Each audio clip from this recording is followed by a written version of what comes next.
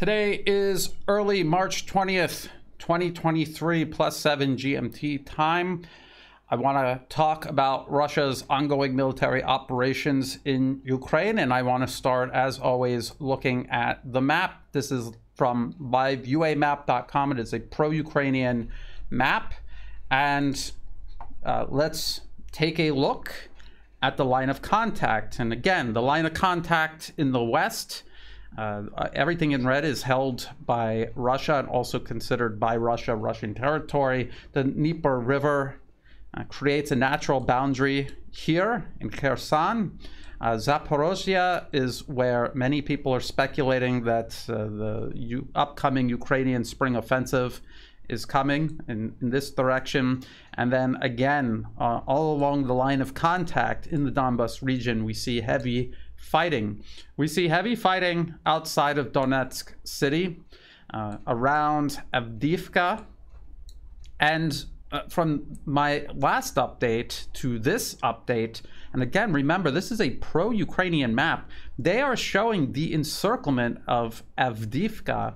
And this is very, very significant. This, this area is where Ukrainian forces have been shelling Donetsk city for the last eight to nine years, the civilian population in Donetsk city has been suffering for eight or nine years uh, because of Ukraine's constant shelling in it. And a lot of it is coming from this general area. And uh, Russian forces are now encircling it. They're threatening this main road leading into the city. It's a road and railway.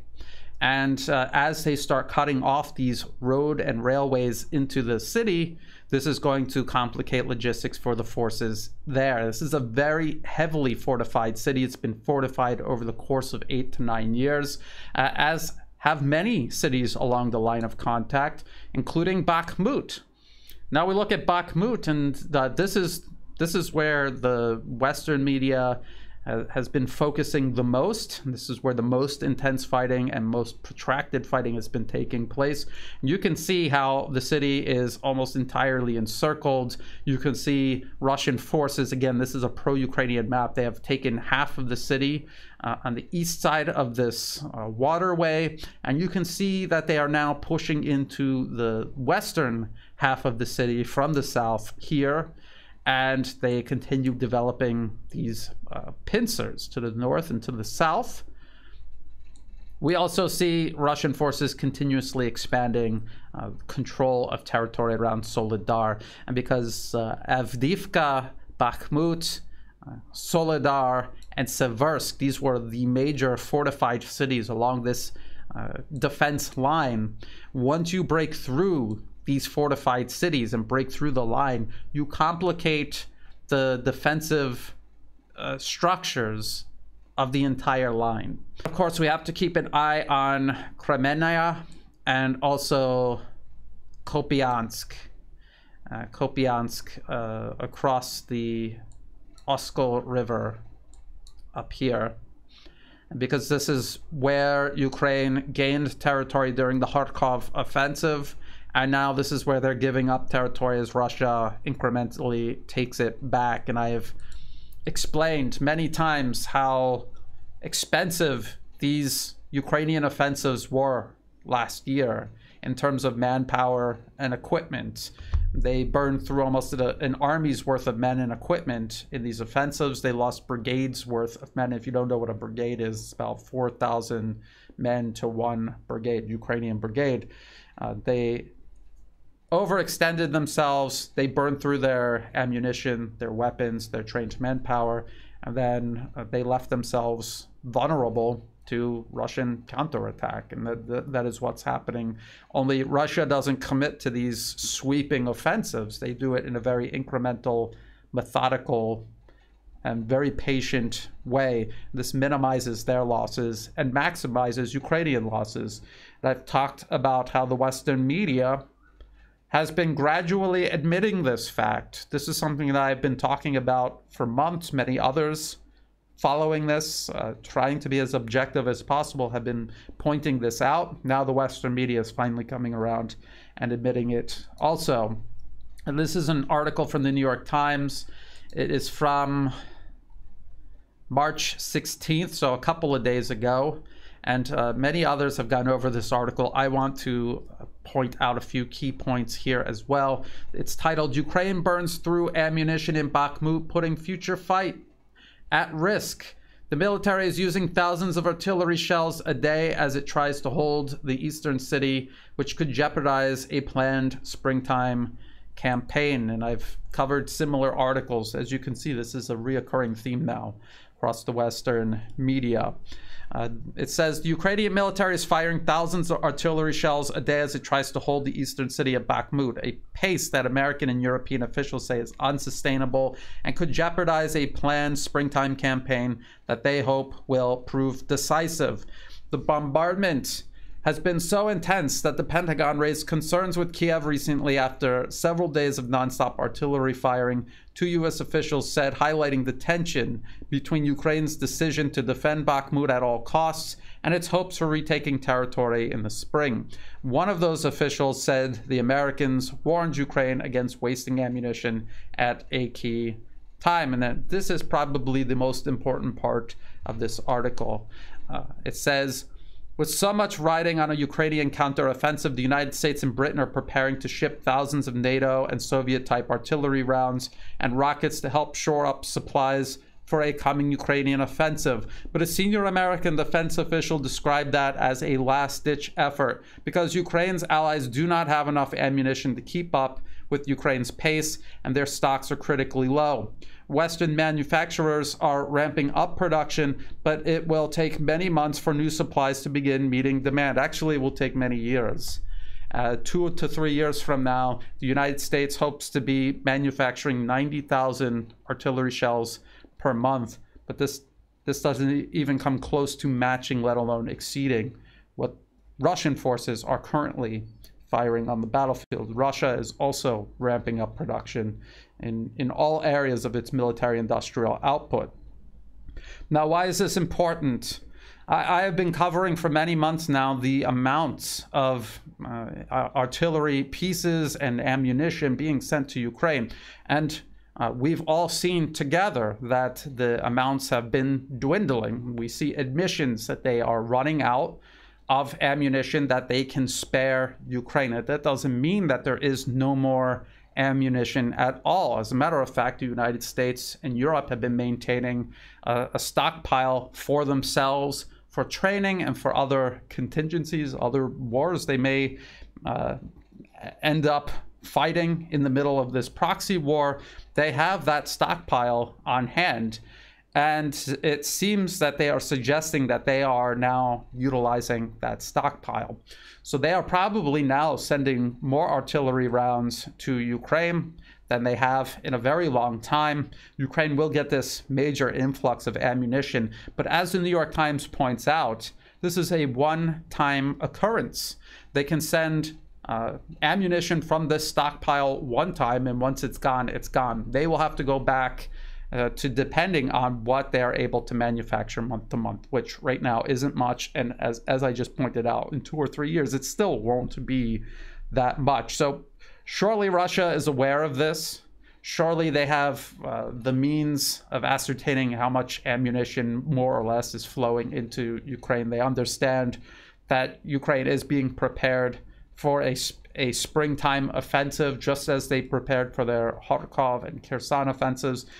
I don't think that Russia is underestimating Ukraine. We saw the extensive defense uh, works that they were creating in, in Zaporozhye, as we saw on the map, and in the Donbas region. They are they are preparing for this, and they have mobilized 350,000 reservists as well, who uh, have not been fully committed to the fighting right now that we see. This so-called winter offensive that the, the Western media has assigned to Russia, we have not seen that massive reserve force committed yet because I believe their their primary function is going to be to uh, defend against this offensive and then uh, exploit uh, U- Ukraine's diminished fighting capacity in the aftermath.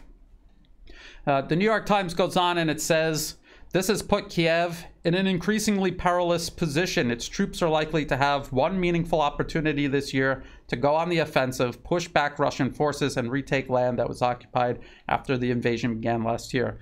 But, but to what end? Because they're not going to take back everything. And even if they were somehow able to do that, as we've seen in the aftermath of the Kherson and Kharkov offensives, they are a spent force and, and they will have to wait for NATO to deliver again another army's worth of equipment and to train up another army's worth of trained manpower. Uh, that will be the window of opportunity Russia has to push back and uh, continue whittling away at Ukraine's uh, military, its military and its infrastructure. And this is what Russia has been doing all along. This is what has created this crisis for Ukraine and its Western sponsors in the first place. They're going to continue doing this. And so, to what end? Even if they take large amounts of territory back, uh, Russia still has no reason at all to to settle it. At that point, they will continue fighting on until they get uh, whatever it is that they want to get. As Russian forces have done in the past when facing a a major Ukrainian offensive, they if they feel that they will suffer huge losses or they risk being encircled, they'll simply withdraw. Uh, because this is not about territory. This is about the ratio of how much uh, men and equipment they destroy versus how much they themselves lose. And uh, as long as they maintain that ratio in a, in a favorable way for Russia, then that is them winning because uh, Ukraine and its sponsors have a finite amount of men and material that they can spend on this proxy war, uh, and it's much less than what Russia has. The New York Times, uh, speaking of trained manpower, the, the amount that Ukraine has available, the New York Times admits that Ukrainian casualties have been so severe that commanders will have to decide whether to send units to defend Bakhmut or use them in a spring offensive uh, several of the officials said, and this goes back to uh, previous articles admitting that most of the, the, the troops, Ukrainian troops trained by NATO over the last eight to nine years, they are mostly gone. They they are they are gone, and what you have left are troops that are being hastily trained. They're not getting nearly enough training to be effective on the battlefields, and just in the most basic capacity, let alone uh, effective in maneuver warfare or combined arms warfare. We have been hearing rumors that there's going to be some sort of counteroffensive, Ukrainian counteroffensive at Bakhmut. Uh, in order for that to have any chance at all of succeeding, they're going to have to divert trained manpower and equipment away from their preparations for the upcoming offensive to this counteroffensive. And that's what they're talking about. They're talking about uh, Russia's current operations, the pressure they're placing all along the line of contact is spoiling their preparations for the upcoming spring offensive. They're going to divert manpower and equipment for this counteroffensive in Bakhmut that was supposed to be reserved for this upcoming offensive elsewhere. The article also claims, and very similar to the other articles that I've been going over in the last uh, week or so. More than 200,000 Russians are estimated to have been wounded or killed since the start of the war. The Ukrainian figure is more than 100,000. Russia can conscript forces from its population, which is around three times the size of Ukraine's, but both sides are contending with ammunition shortages. Russia's formations are firing more ammunition than Ukraine's.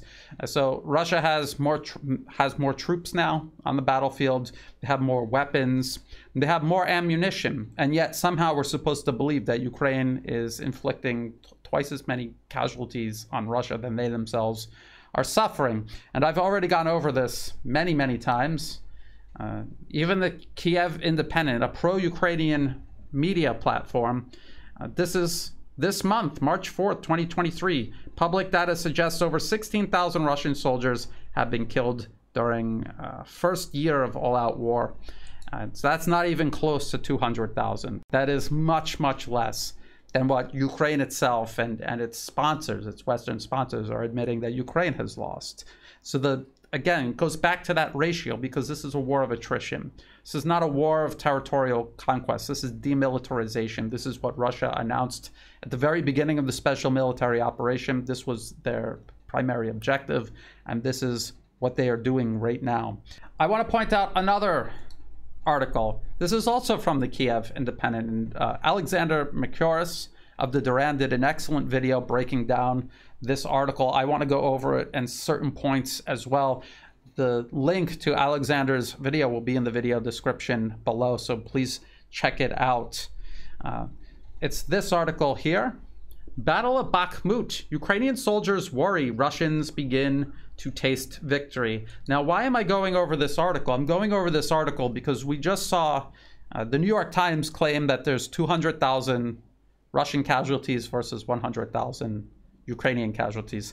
Let me read to you from this pro Ukrainian article from a pro Ukrainian newspaper, and you tell me if it sounds like a situation where Ukraine is inflicting more casualties on Russia than it's suffering itself. You tell me if that uh, is a reasonable conclusion to draw. A Ukrainian infantryman says that most of his fallen comrades were fatally wounded by projectile fragments. It's a pity that probably 90% of our losses are from artillery or tanks and aviation. And uh, artillery, tanks, aviation, these are all things that Russia has in abundance and that Ukraine is facing critical shortages of. Uh, he told the Kiev Independent a few hours after leaving the Bakhmut front, and much less casualties from shooting uh, battles. He counted that only a few of the original 27 members of his platoon got out of Bakhmut front with uh, the Bakhmut front with him, though he explained that most of them were wounded, not killed. The Russians have so many weapons, and there are so many of them he said. They are firing at us all the time. Sometimes you hear an incoming shell every second. And if you're following me on Telegram or Twitter, and the links to, to both platforms are in the video description below, I actually uh, shared a video from Bakhmut where you, you can just uh, look at your watch and you can count the shells coming in every, every second. That is not hyperbole. That is literally happening in Bakhmut. That is what that is the fire that Ukrainians are under uh, every single day now, day and night. The article goes on and it says Infantryman Vladislav said that the Russians would usually appear in a group of about five people at night, but they seemed scared to launch close range attacks because they're not they're not attacking, they're drawing Ukrainian fire. So instead, the Russians would use mass firepower to destroy the houses where the Ukrainians hid to monitor invading forces, to the point that they were forced to abandon the position to seek another position with better protection, according to Vladislav. They are now fighting smartly too, and he's referring to the uh, Russian, the Russian forces. Relying heavily on drones, the Russians would locate Ukraine's positions in, in the area. They would then fire multiple rounds of mortar and artillery, which would then be followed by infantry assaults in an attempt to encircle Ukrainian soldiers. We're, we're looking at the map and we see that this is this is a successful strategy. If the drones cannot detect Ukrainian positions, the Russians will send a few soldiers to fire gunshots until they hear return fire, which is what they were talking about with those groups of five at night. That they are drawing out fire so heavy weapons, uh, indirect fire can target them. What are they describing? Again, in a pro Ukrainian publication, they're describing that Russia doesn't just outgun them, they don't just have more ammunition than them, they are also plain out fighting them. They are out fighting them in, in terms of logistics and also tactics and, and also strategy. And this is a far cry from these human wave attacks that the Western media had been talking about in previous weeks. And again, it's not as if Russian forces aren't suffering losses. They are. They're suffering losses every single day in Bakhmut, but they're just suffering them uh, at such a lower rate than Ukraine. Uh, and this is part of the strategy. It is a war of attrition. When you see these videos of Ukraine hitting a Russian position, uh, and wiping out a group of Wagner uh, uh, troops. Uh, of course, that is happening, but how often is that happening versus how often it's happening to Ukrainian positions and Ukrainian troops? This deluge of articles, pe- very pessimistic, grim articles coming out of the Western media, including pro Ukrainian, Ukrainian based publications like the Kiev Independent, uh, they are coming out and they are describing what is happening. And we can see Russia's uh, war of attrition playing out and playing out in Russia's favor. And so this is how Ukraine's going to be going into the spring offensive. Uh, we keep hearing that the, the troops and the equipment being prepared for that offensive, that is being prepared separately. But we're also being told that most of the troops that NATO trained over the last eight to nine years, properly trained over the last eight to nine years, they're all gone. And what you get are these uh, troops being given abbreviated training courses uh, to operate vehicles that Ukraine has no experience operating. And this is a process that takes months to a year or more. And it's being condensed over the course of a few weeks. And this, this simply is not adequate. And it's going to show on the battlefield come the time uh, Ukraine decides to launch this offensive. People have to remember that just producing a basic infantryman takes half a year or more just to produce a, a, basic infantryman who can operate in a squad, a fire team, maybe four or five men. Uh, and then they have to learn how to operate in larger groups like platoons or a company, which is about 100 men, or a battalion, about a, uh, a thousand, or a brigade, in Ukraine's case, 4,000 men. And it's not just 4,000 infantrymen all fighting in, in a coordinated manner. They all have different weapon systems. They have to train in combined arms warfare. And this takes a very long time to train to do effectively, and Ukraine simply doesn't have the time. Uh, these troops going to the UK, for example, these are brand new recruits. They have no military experience and they are, begin, they are being given crash courses just over the course of a few weeks. Entirely inadequate. They're going to launch this offensive with uh, troops that are not prepared, with equipment they are unfamiliar with, uh, against Russian positions that have been prepared months ahead of time. Uh, and then they are going to suffer whether the offensive goes relatively well or if it goes disastrously wrong. Either way, they're going to lose the, the majority of their troops and equipment. Uh, only this time, unlike Kherson and Kharkov, there is no more equipment, there is no more ammunition the West has to send in these large quantities. You could already see them struggling to scrape together these tanks. Uh, this is a complete disaster. This is the admittedly, this is their last opportunity. This is what even the Western media and Western governments are saying. And when they're talking like that, it really seems like it's just a roll of the dice. They already know that it's more or less doomed, but they're going to try anyway because they can't really think of anything else to try, uh, except for obviously negotiating. This was never about resolving a conflict. This was about using a conflict to advance U.S. foreign policy objectives at the expense of the Ukrainian people. And as long as the U.S. is paying for this proxy war in the blood of Ukrainians, the, the money of uh, taxpayers on both sides of the Atlantic, uh, when it's unless it's them actually paying the price themselves, they have no no motivation to stop this proxy war until it's just physically impossible for them to, to fight on any longer because Ukraine's military has been entirely exhausted and destroyed. Really, the only way uh, the outcome of this conflict can change is if NATO intervenes more directly, uh, either creating some sort of buffer zone in Western Ukraine or uh, going in and fighting Russian forces directly. Uh, but even that is not a guarantee that the outcome of the conflict will change.